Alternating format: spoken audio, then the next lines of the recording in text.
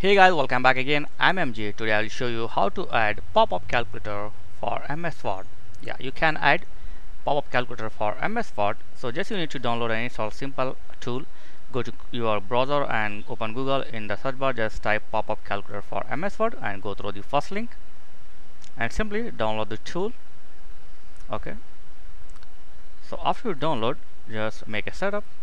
So it will zip file format so just click on this and run the setup and follow, follow the online instruction on screen instruction as you can see here. So click install. Okay.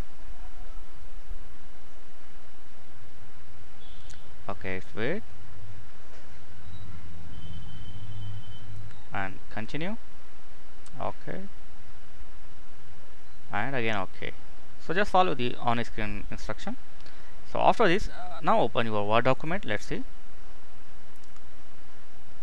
okay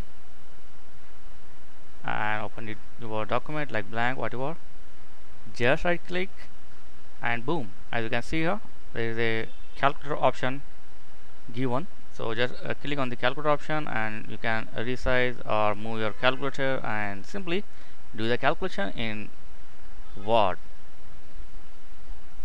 So you can use a simple calculator for MS Word. And you can change some setting here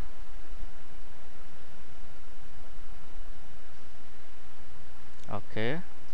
So if you want to uh, copy and paste this data to a word document simply thing is just press ctrl c for copy and ctrl v for paste as you can see here. Just uh, press ctrl c to copy the data and ctrl v to paste the data. That's it. So this is the uh, this is the way to add a pop-up calculator for MS Word I hope this will help you. Thank for watching. See you in next video. Please like share and subscribe. Thank you very much